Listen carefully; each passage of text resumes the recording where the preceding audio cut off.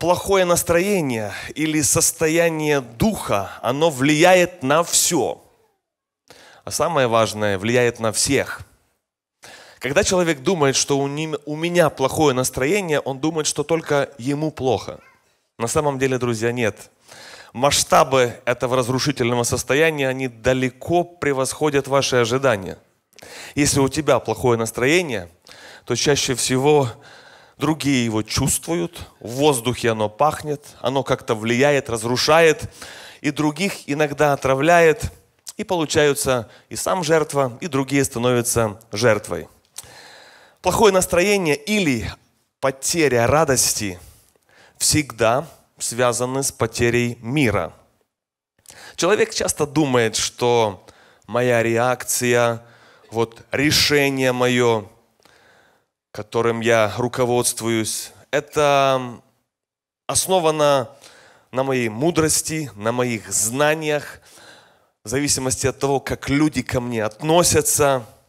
На самом деле, друзья, это не всегда так. Наша реакция, то, чем нами управляет, а, это не всегда в зависимости на основании наших знаний – или на основании того, как люди к нам относятся. А чаще всего это зависит от того, в тот момент, есть ли мир в твоем сердце или нету.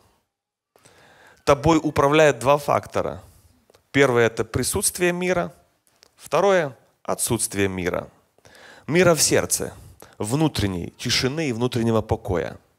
Именно вот это влияет на настроение, на реакцию, на отношения, на все комментарии, разговоры и так далее.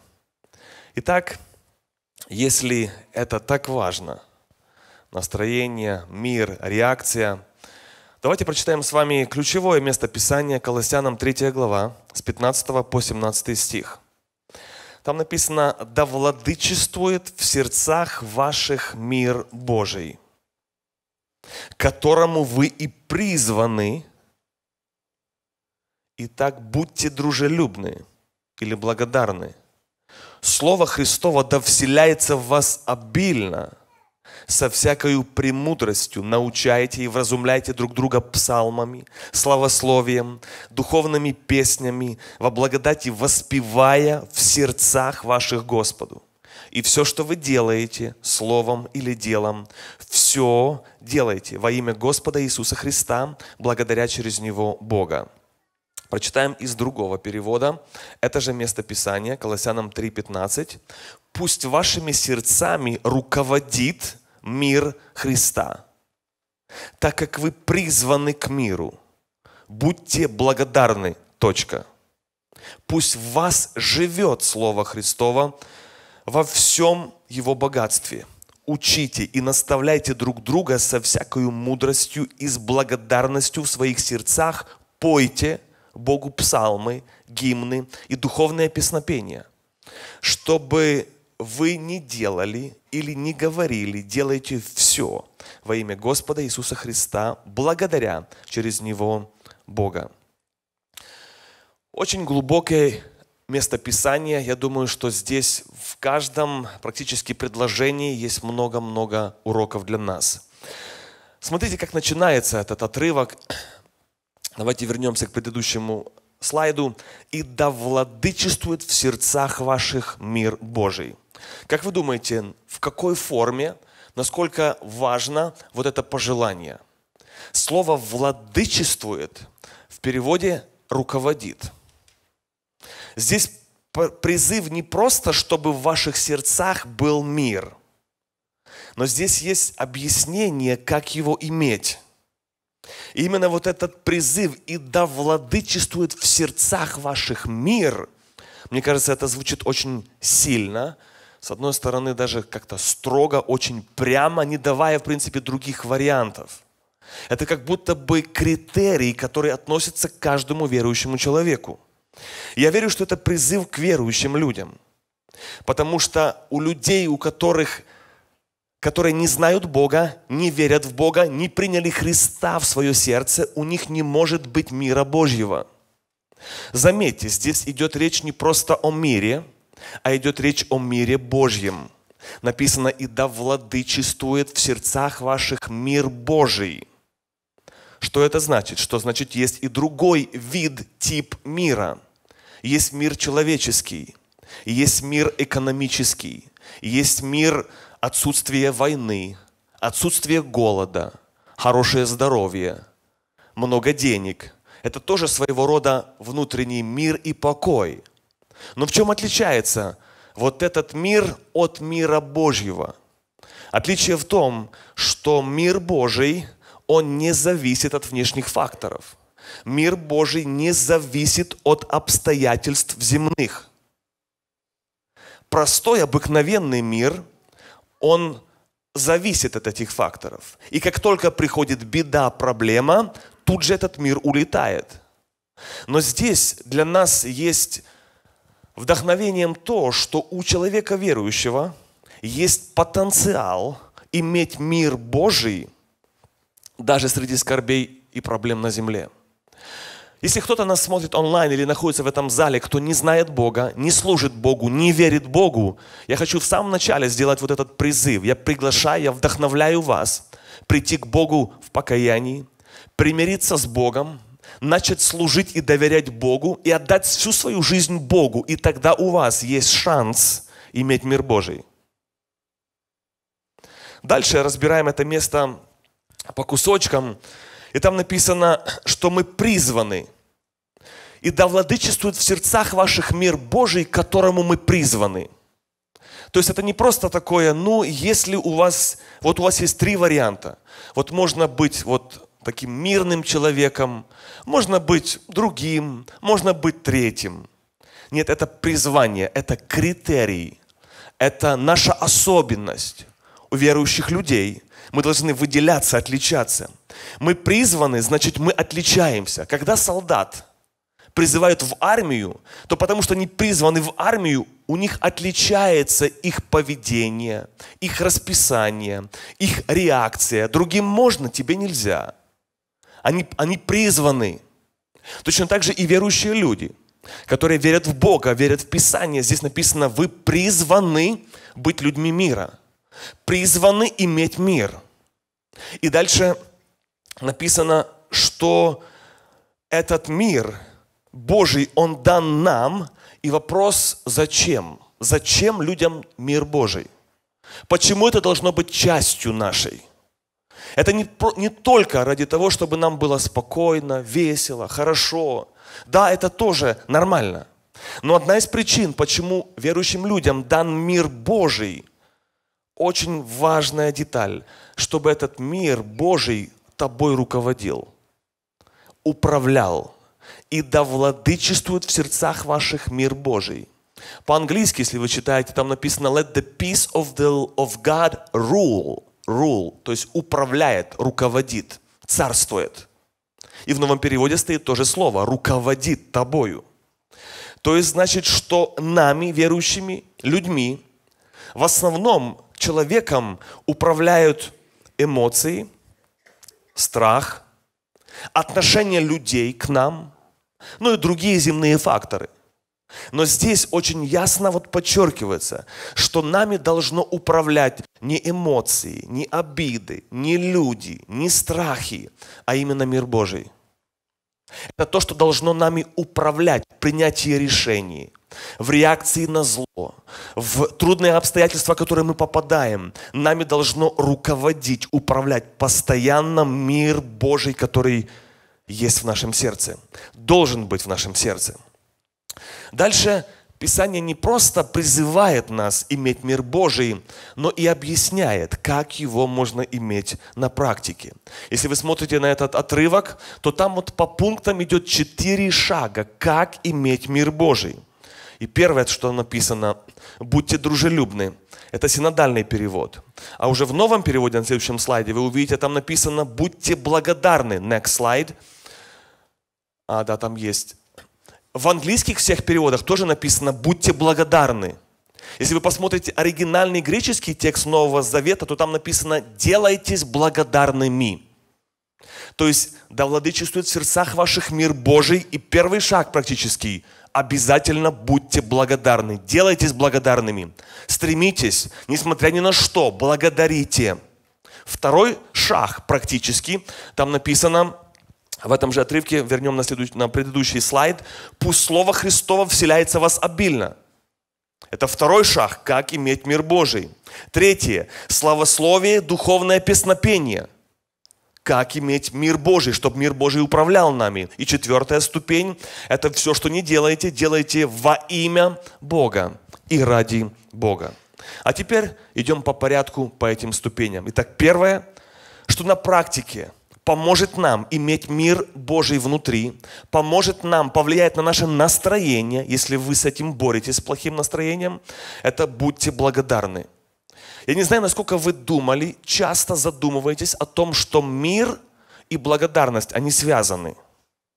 Мир, покой внутренний и благодарное вот это состояние, это в противовес негатива, ропота, жалоб, там депрессии и всего остального. Это связано. Вот это вот урок, друзья, уже не просто психология, это чуть выше, чуть глубже, это уже Слово Божье, которое напрямую влияет на наше настроение. Почему сложно быть благодарным? Потому что когда человек в проблеме, в болезни, тебя обидели, человек не видит причины быть благодарным. Естественно, когда человек в таком состоянии, потеря радости, отсутствие мира, и сразу же и настроение от этого меняется. И ты не видишь причины, за что благодарить, потому что мы, люди, все видим через призму земную, земных обстоятельств, но не через призму вечности или Слова Божьего.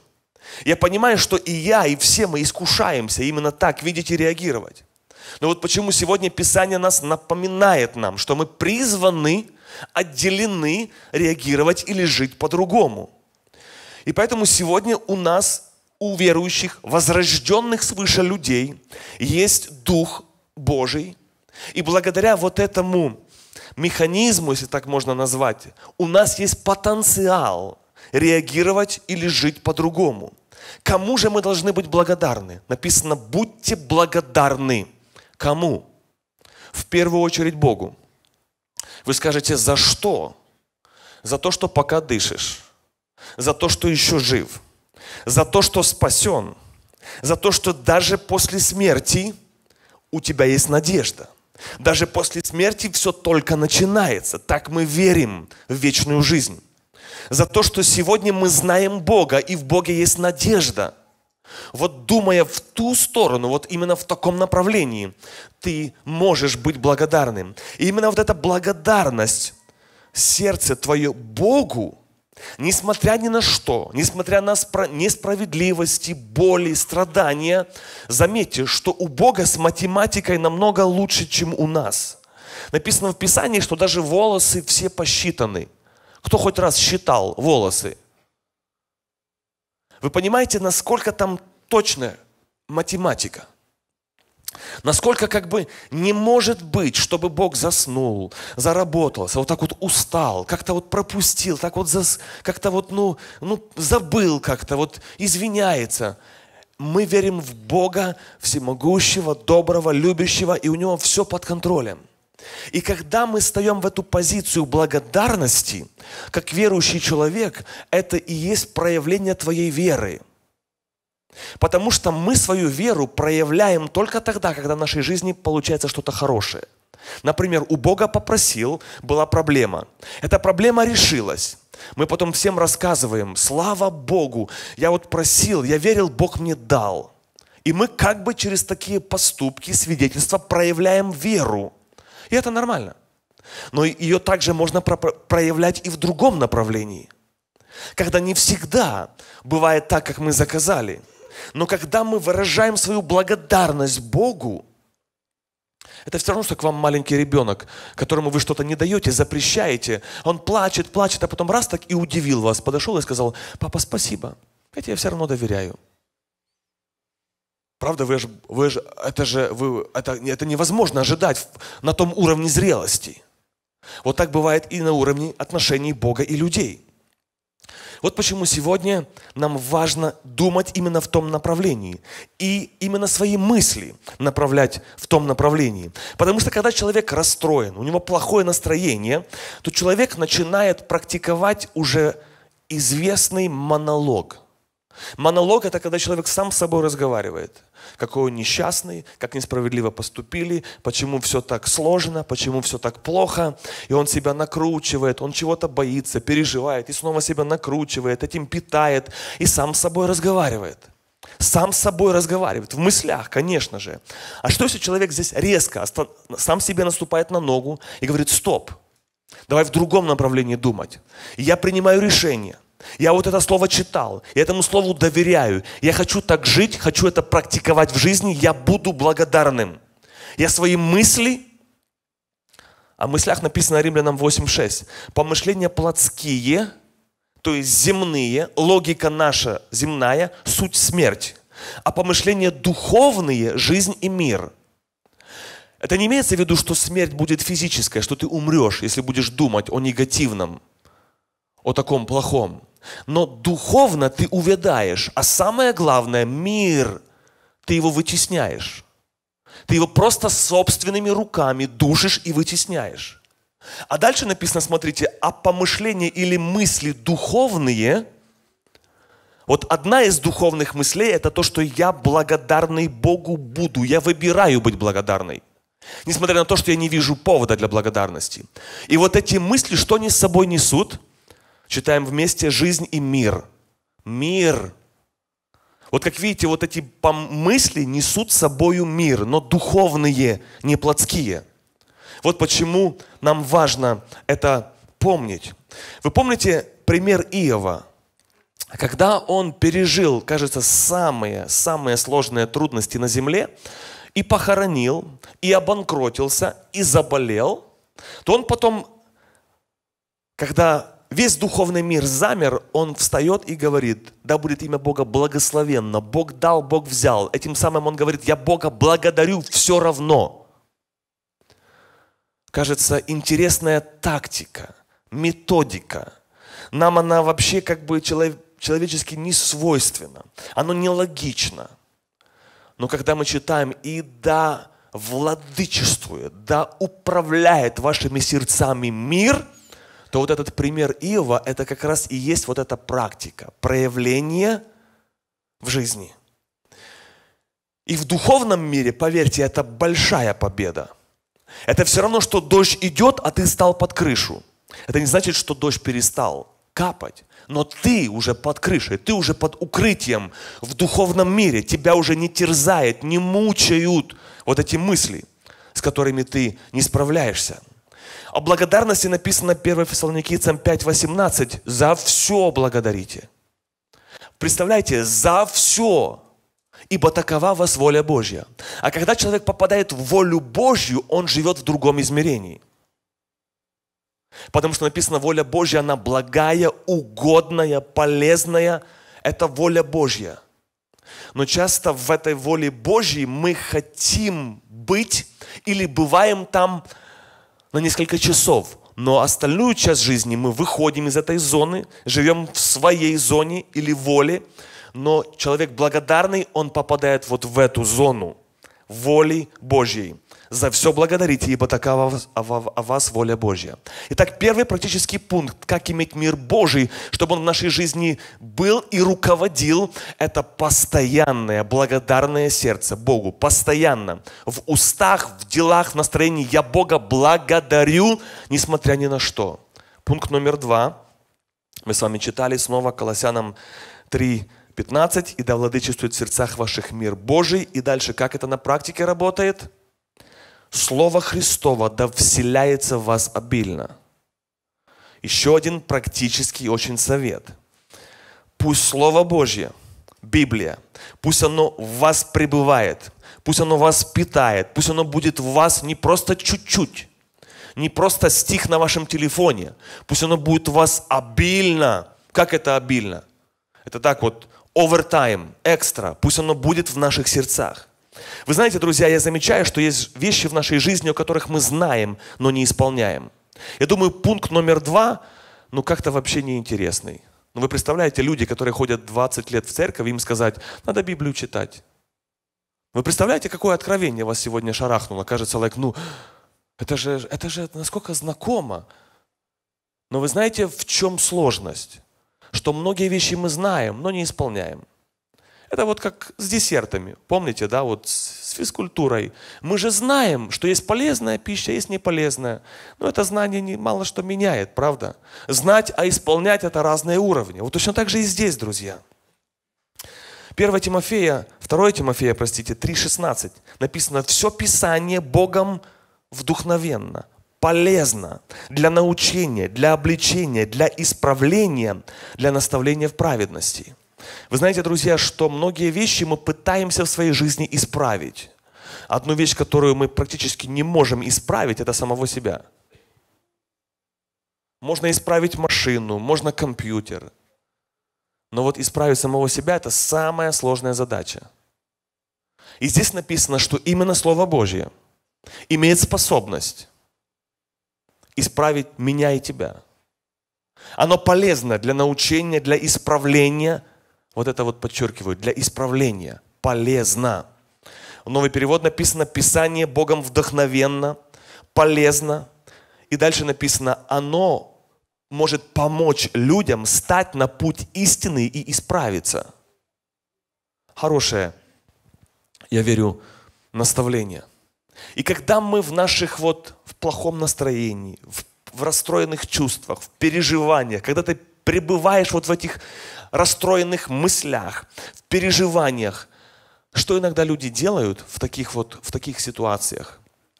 Часто они начинают, написано, пусть Слово Божье вселяется в вас обильно, когда вами управляет плохое настроение и, и негативный дух, то часто в это вторгается Google.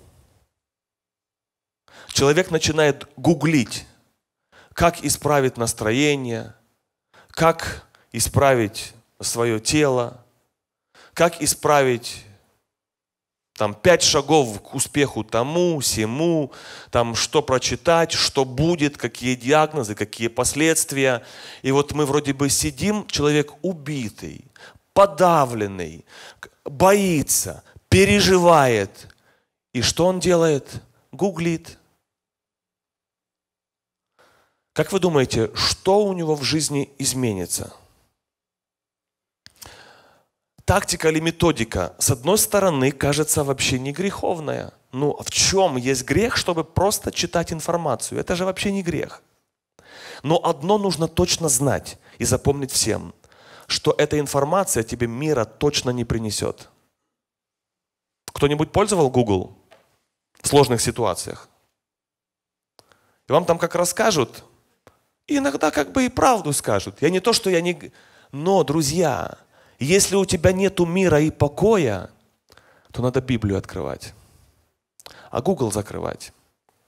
Но я знаю, что многие вещи мы знаем, но не исполняем. Мы эти вещи знаем, но в жизни не практикуем. Иногда мы обижаемся, что нас не понимают, нас не утешают в наших переживаниях. Но часто, друзья, поверьте, мое или утешения, советы, которые сейчас, о которых я проповедую, они часто вам могут не понравиться. Или со стороны, кто вам дает совет. Потому что, когда тебе посоветуют вот в таком состоянии подавленном, но Библию открой, и, и Слово Божье пусть вселяется в тебя обильно. Ты такой раз посмотрел и прыгнул на него, начал обнимать. Ну ты мне поднял настроение. Правда, мы так на него посмотрим, скривимся. Он будет извиняться, что он тебе это посоветовал, убежит и скажет, кто может ему помогите. Я пробовал сказать, закрывай Google, Инстаграм, читай Библию. А человек ходит и дальше. Мне никто не понимает, мне никто не, не поддерживает. Вот я в своих переживаниях, никто мне не может помочь. Да нет, друзья, могут, могут. Просто ты не готов принять эти советы и методы. Есть библейские методы, а мы ищем другие – мы ищем другие, а библейские есть, они есть. Вот и все, они были, и они есть. Есть методы, которые могут помочь тебе вернуться в состояние мира и покоя. И одно из них – это пусть Слово Божье вселяется в тебя обильно. Читай утром или вечером, слушай, питайся этим, замещай фильмы, какие-то время впустую, может быть, часами на телефонах, видеоигры и так далее. Замещай это. И ты увидишь, тебе это поможет. Поможет. Шаг номер три. Как иметь мир Божий? Мы читали снова Колоссянам 3.15. Это этот же местописание. «И да владычествует в сердцах ваших мир Божий». И дальше очень интересная методика. «Славословием и духовными песнями, воспевая в сердцах ваших Господу». Как исправить плохое настроение? Как иметь мир Божий внутри? Будь благодарным, пребывай в Слове. И третье, пой, пой, пой хвалу. Первая реакция – у меня нет слуха. У меня для вас хорошая новость. У кого нет слуха? Ладно, не поднимайте руки. А, а, вот если у вас нет музыкальных способностей, смотрите, какая для вас тут есть хорошая фишка. Написано, воспевая в сердцах ваших. Вы понимаете, какой выход? Если даже петь не умеешь, но в сердцах. Там пой на всю катушку. В сердцах. Можешь чуть-чуть и звука добавить, если сам находишься. Друзья, но суть в том, что здесь написано о состоянии духа, души нашей. Конечно же, можно петь и без слуха, и вслух, но самое главное, что это состояние сердца.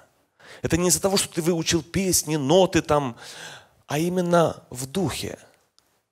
Вот отсюда исходит твое настроение и пение. Вот здесь, друзья, очень важно понимать, что первая церковь, она всегда пела. Если вы прочитаете историю, у меня нет времени, просто я читал там имена этих людей, вот эти доклады нескольких римских граждан, которые докладывали римскому императору, что делают христиане. И интересно, что одно из отличий, что вот делали христиане в этих старых-старых древних записях, написано, что они пели хвалу Христу как Богу.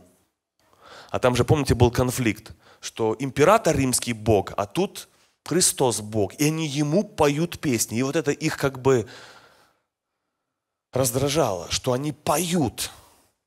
А вы знаете, не было ни колонок, ни микрофонов, ни аппаратуры, никаких вот просто люди, уставшие после работы там, пели, пели просто. И вот это пение, такое простое, непрофессиональное, возможно, но от души, во времена страха жизнью, когда ты за это пение тебя могли убить. В Римской империи могли сжечь там, распять. Вот это пение, оно приносило столько мира, столько покоя. Сегодня, кажется, нам жизнью никто не, никто не угрожает, но оно вообще не поется. И вы знаете, что пение, оно действительно имеет свою силу. Я не знаю, насколько вы замечали, что когда у людей хорошее настроение, часто они поют. Вот так вот себе под нос так. Вот я знаю, у нас там в офисе есть несколько человек, их тоже знают, они постоянно как-то поют. Но когда настроения нету, плохое подавлено, песни тоже как-то не поются. Даже в церкви, когда у нас официально, так, друзья, встали, сейчас поем. И по команде, ну, Хочется петь, не хочется, знаешь песню, нравится песня, не нравится, без разницы. Мы все поем. И мы стоим, делаем вид, что поем. Кто-то просто пережидает, кто-то поет. И когда нету внутри, даже в церкви петь трудно. Но здесь говорится о пении совершенно на другом уровне. Я помню из своей жизни пример, когда когда-то я еду в машине, а внутри так больно, такая подавленность, такой груз – ну, последнее, что хочется делать, это запеть Богу славу. Но все равно же как-то, когда у тебя вот есть внутри этот Дух Божий, вот и оттуда идут сигналы, сенсоры срабатывают, что есть выбор вот так вот с настроением бороться. И я помню, как я в машине включаю песню хвалы, прославления, и начинаю так еле-еле, губами еле-еле шевелю, начинаю петь сам себе под нос. Так одна песня сменяется другой, снова песня, снова хвала. Тут я сам не приготовился, слезы потекли по щекам, и я опять пою хвалу. Потом раз такая стрела, а что ты, а что ты поешь? А что ты славишь? А за что? А вообще, а у тебя причины есть как бы? Да тут, тут надо, тут надо беду спасать. И тут раз другая сенсор срабатывает внутри у человека возрожденного. Нет, я выбираю петь и да владычествует в сердцах ваших мир Божий. Песни духовные, песнопением воспевайте в сердцах ваших Богу. И ты продолжаешь ехать и петь. Вы знаете, друзья, это не просто фокусы, это не просто психология, это глубже, это методика, которая дана верующим людям. У всех, у кого настроение убито, было, будет – Вспоминайте это. Вспоминайте, практикуйте в жизни, начинайте петь Богу хвалу и славу. Вы знаете, что мой отец, когда он в госпитале имел встречу с врачом, и врач ему сказал, тебе осталось жить полгода, и спросил у него, что вы будете делать. Моя жена долго колебалась, чтобы перевести ему эту новость, и в конце она сказала, папа, врач спрашивает – тебе осталось жить полгода, что ты будешь делать? Он вздохнул, сделал паузу и сказал, скажи ему, я буду петь. Очень странный ответ, очень странная реакция. Это против всякой логики. Это когда смерть дышит тебе в лицо. Врач ему сразу посоветовал психолога, потому что, кажется, это, наверное, что-то уже поехало. Но здесь, друзья, Видите, это изнутри исходит. Это состояние духа. И да управляет вашим сердцем, настроением мир Божий. И вот эта песня в духе, она меняет все. Я никогда не забуду, как в нашей церкви одна молодая семья, они рождали, они рожали первого ребенка в госпитале. И роды были очень длинные, очень болезненные, по-моему, около суток. И это, вы же представляете, как э, покидают все силы эту молодую маму, как все больно, как все трудно, как врачи уже иногда ну, не знают, и, и ты сам, впереди такая неизвестность, не знаешь, бороться за жизнь мамы, ребенка. И вдруг очень неожиданно эта мама начинает тоже тихонько, уже все силы, как бы, вы понимаете, силы, все оставили, начинает тихонько себе петь петь, петь песню «Аллилуйя, Аллилуйя» в госпитале, на операционном столе. Откуда? Почему? Зачем? Вы представляете сразу, как врачи реагируют. Это другие люди, другой породы. Сразу меряют давление, температуру. А там нужно было просто сказать, нет, нет, нет, доктора, релакс, успокойтесь. Мы призваны. Простите нас, мы призваны мы призваны иметь мир Божий. Мы призваны петь. Это не потому, что легко, а потому, что мы призваны. И это пение принесет нам мира больше, чем вам. Хм. Представляете, какая проповедь для доктора? Он, наверное, в своей практике такого не переживал. Это несет мир и покой, успокоение – прямо там.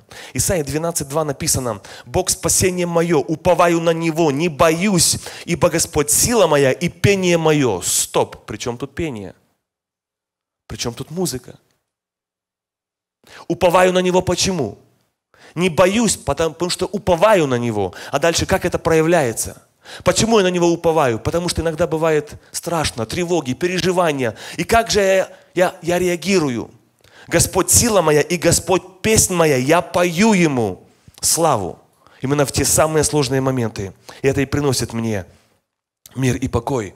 Вы помните, что делали первые христиане, когда их разрывали львы на аренах, когда их убивали, когда их гнали? Что делали христиане?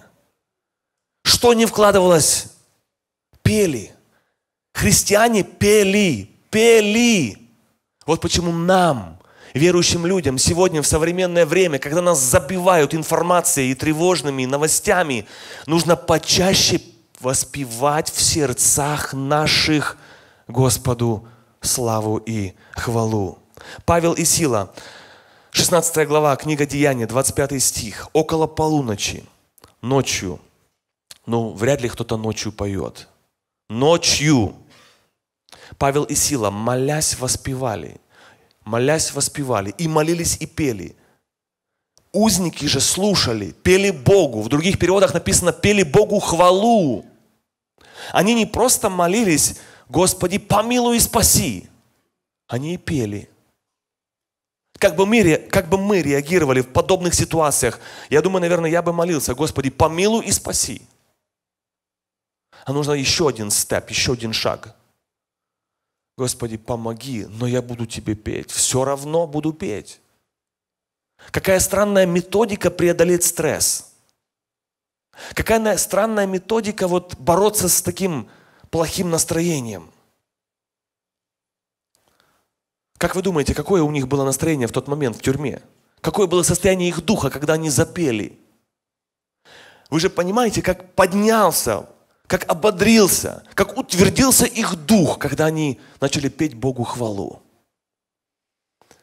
Ой, я переживаю. И у меня вопрос, а тебе это состояние твое нравится, что ты переживаешь? Что у тебя плохое настроение? Нет. Тогда у меня следующий вопрос. А что ты сделал, чтобы не переживать? Ой, я так переживаю, что я же не могу не переживать. Окей, хорошо. А что ты сделал, чтобы не переживать? Я не могу не переживать. Еще один вопрос. А что ты сделал, чтобы не переживать из того, что советует Библия? Знаешь? Ну да. Все, что мы прочитали, знакомо? Ну да. Знаем? Знаем. Исполняем? Ну, может, Google выручит. Может, позвоню подружке. Может, позвоню еще кому-то. Нет проблем. Можно. Иногда это тоже поддержка не помешает, но помни, что не всегда это приносит мир. А вот методика библейская. Я уверен, что ты другие методы уже пробовал, уже много пробовал, особенно в подавленном состоянии духа, пробовал разные методы. А теперь сегодня попробуй библейские методы. То не помогло, а вот это, если можно, вот эти пункты на экране, три пункта, четыре, вот это фотографируй или записывай и в жизни практикуй. Фотографируй, записывай и в жизни практикуй. Как только плохое настроение, как только потерял мир, как только борешься с какими-то обидами, как только обстоятельства очень сложные, как будто бы больно, а, боишься, опасно, переживаешь, вот практикуй, чтобы мир Божий управлял твоим сердцем, реакцией, твоей жизнью и твоим настроением. И помни, прославление заменяет волнение. Прославление заменяет волнение. Давайте все вместе скажем. Прославление заменяет волнение. Это написано в Библии, это не я придумал. Поэтому важно это в жизни практиковать. И четвертый пункт. Все делайте как для Господа или во имя Господа. Снова возвращаемся к тому же стиху, Колоссянам 3, 17. «И да владычествует в сердцах ваших мир Божий». И дальше, как? Все, что вы делаете, снова подчеркиваю, все, все, все, все абсолютно. Все, что вы делаете, словом или делом, все делаете во имя Господа Иисуса Христа. Заметьте, что здесь во имя Иисуса Христа, то есть ради, не только ради себя, не только ради других людей, но ради Бога, ради Иисуса Христа. Вот если вы делаете из-за Него, для Него, ради Него, тогда многое в жизни меняется. Колоссянам 3 глава, 23 стих. Мы с вами читали на прошлой неделе, говорили о мотивах. И все, что вы делаете, все, все два раза стоит. Заметьте, да? И все, что вы делаете, делайте от души, как для Господа, а не для человеков. Как для Бога, а не для человеков. Потому что мотивы меняют многое. Мотивы двигают горы. Когда ты расстроен и рассказываешь свою причину обиды кому-то другому, часто для других, поверь, для тебя это гора, а для других кажется мелочь. Но ты эту гору не способен сдвинуть. Но если ты поменяешь мотив, я это сделал или буду делать ради Бога, вот этот мотив ради Бога, я это делаю как для Господа, несмотря на то, что люди не понимают, не ценят, обижают, несправедливо оскорбляют. И ты почему ты убит? Потому что твой мотив был, ну как бы для Бога, но это просто слова. А глубоко в сердце это было для людей. И когда люди с тобой неправильно поступили, ты раздавлен, у тебя гора обид, мелочей собралась гора, и ты эту гору не можешь сдвинуть но мотивы двигают, двигают эти горы. Если ты принимаешь и понимаешь, что я это делаю, делал и буду делать ради Бога, несмотря как относятся ко мне люди, что бы ты ни делал, то вот этот мотив сдвинет эту гору. Motive move mountains. Motives, твои мотивы двигают горы. И вот эти горы обид, горечи и всего остального – вот почему важно иметь правильный мотив и все делать как для Господа. И во имя Господа. И в этом тоже есть мир. В этом есть другое настроение, отношение, когда мы именно так поступаем. Когда человек иногда физически болеет, он ищет любые рецепты, методы, как выздороветь. Точно так же и духовно, когда человек болеет, когда его дух сломлен, когда его ранен, когда он в плохом настроении. Вот мы с вами сегодня прошли рецепт, как выйти из этого состояния состояния. Филиппийцам 4.7. Если мы будем практиковать вот эти шаги, четыре ступени, о которых мы с вами поговорили, то написано, и мир Божий, который превыше всякого ума, соблюдет сердца ваши и помышления ваши во Христе Иисусе. Четыре ступени, о которых мы с вами говорили. И тогда мир Божий, смотрите, что Он сделает. Соблюдет сердца ваши и помышления, по-другому сохранит сердце и мысли – если мы будем практиковать то, о чем мы говорили, то будет фильтр в мыслях, чтобы это не попало в сердце. Мир Божий, его функция – сохранять мысли и сохранять наше сердце. Иначе мы от этого сами в первую очередь пострадаем. Вот почему нам важно, друзья, практиковать это в жизни.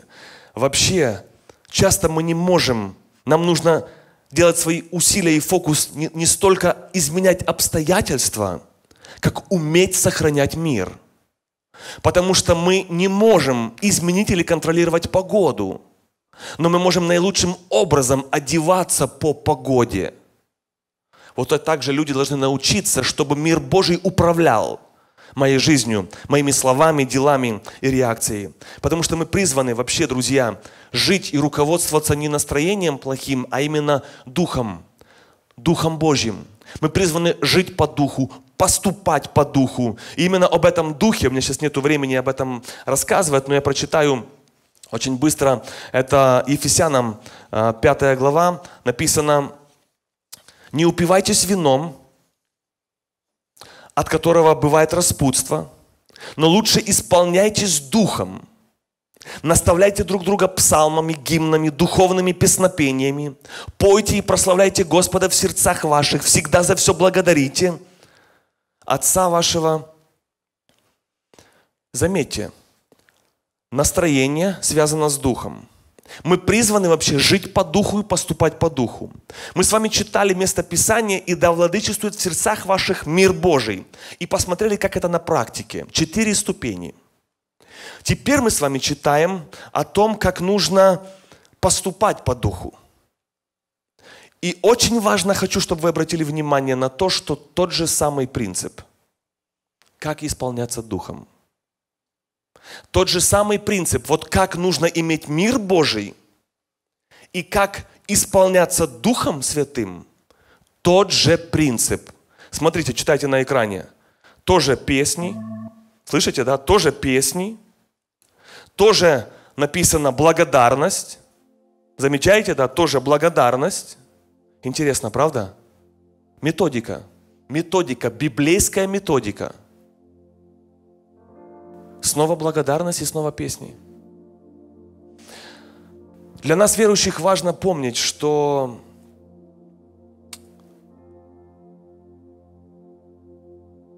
исполняться Духом – это наша ответственность. Это не одноразовое действие. Рождение свыше – это одноразовое действие. Крещение Святым Духом – это одноразовое действие. А исполнение Святым Духом – это многоразовое действие, и это наша ответственность. Написано к нам, людям, вы, мы, верующие, вы исполняйтесь Духом Святым. То есть это по жизни. Практикуйте. Наполняйтесь. Исполняйтесь Святым Духом. А дальше написано, как это на практике. Не просто теория, а практика. И написано как. Наставляйте друг друга гимнами духовными, песнопением. Прославляйте Господа. Какая сила заложена в пении хвалы Богу. Вот представьте себе, настроение плохое, и вы так осознал, у меня плохое настроение. Или вам кто-то сказал из ваших близких, а что у тебя такое плохое настроение? Ты такие, понял, понял. Сразу раз так в комнату побежал, закрылся. Ефесянам 5.18 открыл и думаешь, хм, плохое настроение. Дай-ка я запою. И открываешь слово, да вселяется оно в вас обильно. И начинаешь, да, не хочется, да, да, да, понятно, у тебя, кажется, песни нет. Нет, она есть песня, только она другая, минорная. Все равно бубнишь, все равно поешь, все равно в сердцах ты поешь, только не в той тональности. А ты начинаешь петь, но по-другому, в другую сторону. Песнопение духовное и хвалу Богу вашему. И тогда и тогда, друзья, начинаешь благодарить Бога, благодарить Бога. И вот в этом проявлении веры и твоего действия приходит мир, внутренний покой, тишина. Дождь идет, а ты под крышей. И вот это наполняет наш дух.